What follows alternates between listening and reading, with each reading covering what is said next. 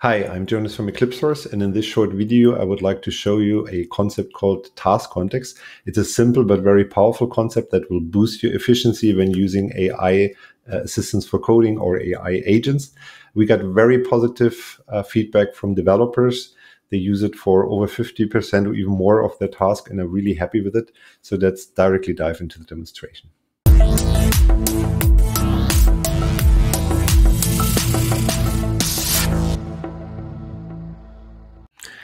All right, I'm in my IDE now. I'm using the Theia IDE, which is a fully open source uh, AI native IDE that you can download and install for free. You can connect it to any LLM of your choice, including self-hosted and local ones.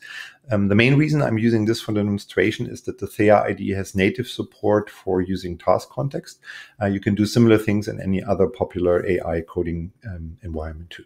All right. So what are task contexts about? When you work with AI in, in your IDE, many of us use a chat for that, right? The chat is next to my coding environment, and then I can write some requirements, some bug fixes or whatever.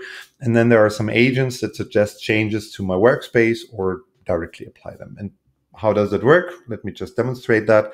Um, the code base that I'm currently working in is a fairly large one. Um, that's the code base of the IDE itself. so I'm using the IDE to change the IDE, but that doesn't really matter for the demonstration. That's just an example. So let me just uh, do what many of us do. So I type something here. Uh, I use the coder agent, the coder agent, and I type some requirement, for example, add a reset button to the token usage view. And just for understanding, so we have a token usage view here um, and currently doesn't have a reset button. And that's what I would like to add. All right, so let's just press enter. and now the agent will analyze my workspace. Um, it will try to find the right files and apply changes. Now, what's wrong with that? Actually, there's nothing wrong if this goes uh, right and I, I, don't have to apply much changes. However, if it doesn't get the requirements uh, 100% the first time, or for example, it doesn't find the right context, or for example, if my prompt is not super precise, you might know this, then you write another message, another message, and so on. And sooner or later, it feels a little bit like we are developing uh, with a chat group, right? It's it's it's not super structured what we do here. Now let's do it differently, and let me stop that here because that's actually what task contexts are about. So instead of writing the initial prompt right in this chat, what I do is um, I create a file for this prompt. Um, and we have a directory here called task context, and I create, create a new file here called, for example, my task, so MD, just like this.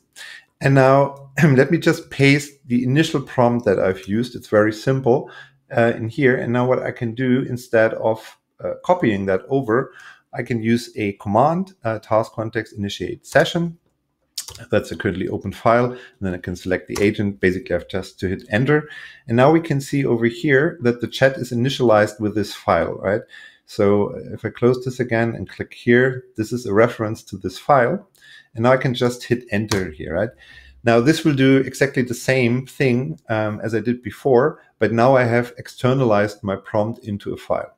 It wouldn't make sense for this very simple example, but the nice thing is now uh, I have a re reproducible prompt that I can refine even before I would send it to the LLM. All right.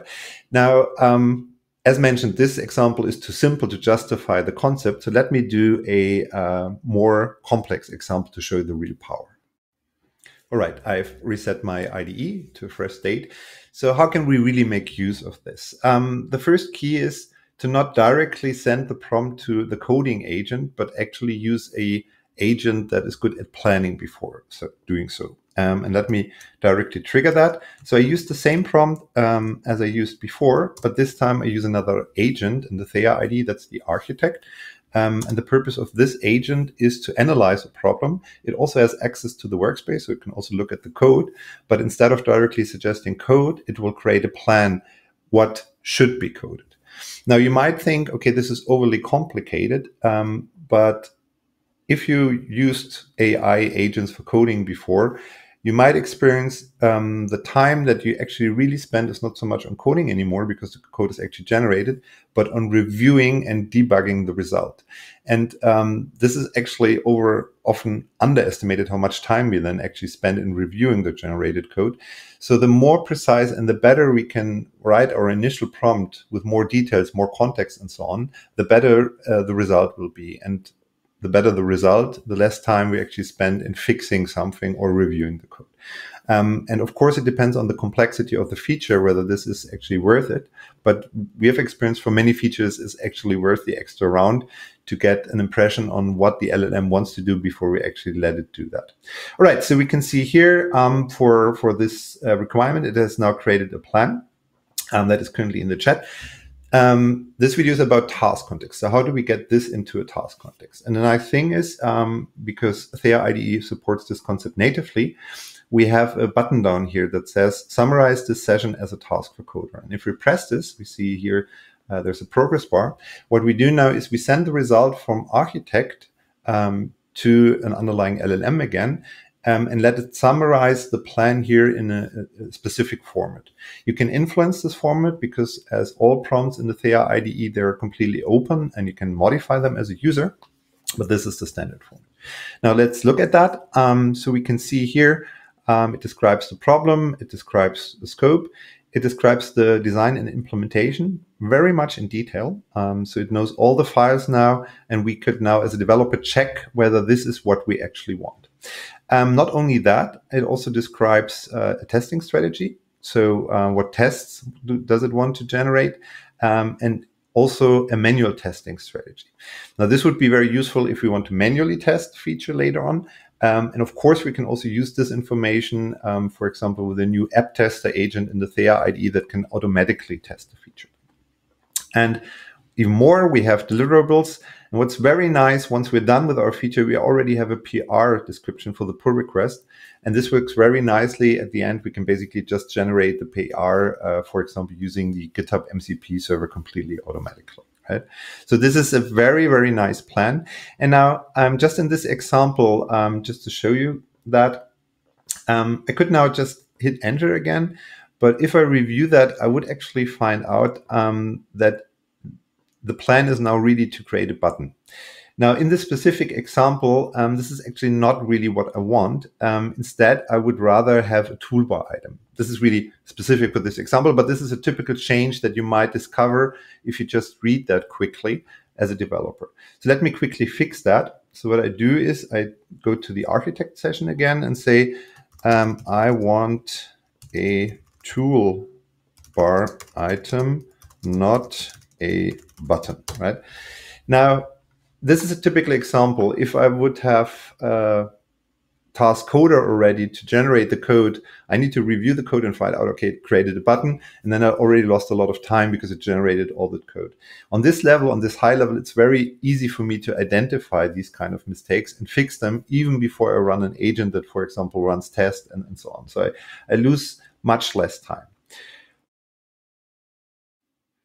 All right, it's done updating the plan. So let's quickly check that. And we can see down here, um, it now uses a toolbar item and a command, which is the, the way that I want it to work. Now, how can I now update my task context? Of, of course, I could manually do that, of course, because this is just a file. Um, but there is also an action to do that explicitly. So I can press here. And now what happens under the hood is similar. So we send, um, again, the updated chat session here the original task plan and we asked the LLM, okay, could you please update uh, whatever changed? And in a second, I will be able to review that. Um, so I have full control over my task on it. It's really now a structured artifact um, that I can use for managing my task, right? And I see here, yeah, it's a toolbar item, not a reset button, and a couple of other changes. Let me just accept that.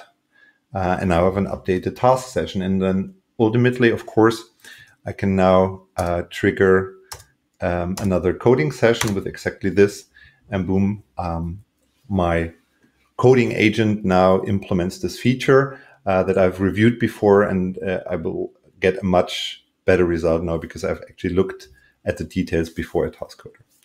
All right, um, with that, I would like to close the demonstration. I hope you found this video interesting and are curious to try the concept of task context yourself. As mentioned before, you can download the Theia IDE that I used for the demonstration for free. Um, I've put the link down in the in the description. Um, we got really very good feedback from developers about this concept. It really helps to structure the work with AI. And uh, you have a lot of additional benefits, like, for example, the testing information, the PR information, and you can even hand over these task context files to colleague. Like, for example, one person can prepare them, another one can write them. Last but not least, task contexts are also a perfect input for autonomous agents, like the new agent mode we have in the Theia IDE or any other autonomous AI agent, because they really contain all the context that the fully autonomous agent needs to fully do the job if you if you add all the details there. All right, thank you for watching. If you like the video, please leave a like and subscribe to our channel for more exciting news about AI coding tools.